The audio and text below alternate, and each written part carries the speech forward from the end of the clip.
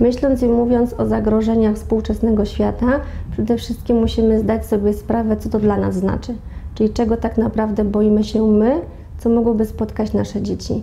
Bardzo często już w edukacji przedszkolnej zaczynamy tego typu tematy, mówiąc przede wszystkim o tym, że nie rozmawiamy z nieznajomymi, mówiąc także o tym, że nie pozwalamy, aby nieznajomi zabierali gdzieś dzieci bez pozwolenia rodziców, o tym także, żeby dzieci nie ufały osobom, których nie znają i żeby nie spoufalały się z tymi osobami, które jakby są dla nich obce.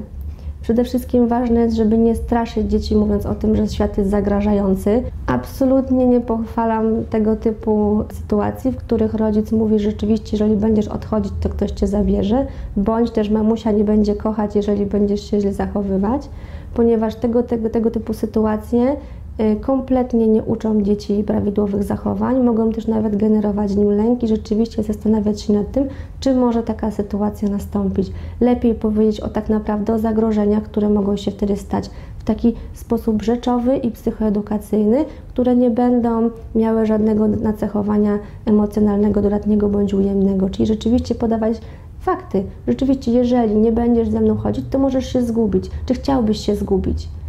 Jak byś się wtedy czuł? Czy rzeczywiście dzieci gubią się przy swoich rodzicach? Czy powinny to robić? Czy powinny odchodzić?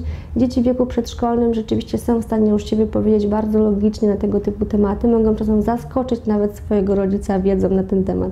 Bardzo wiele mm, możemy wyciągnąć z literatury dziecięcej, pokazując sytuacje, cytując bajkoterapię, czy też sytuacje takie, w których używamy książek obrazkowych mówiąc o tym, że rzeczywiście dzieci mają prawo do tego, żeby stanowić o swoim ciele, o swojej osobowości. Kształtując asertywność dziecka, warto podkreślać, że mają prawo stanowić o sobie, że mają prawo mieć swoje zdanie o tym, że rzeczywiście nie może nikt wpływać na to, ani zmuszać dziecka do, do żadnych zachowań.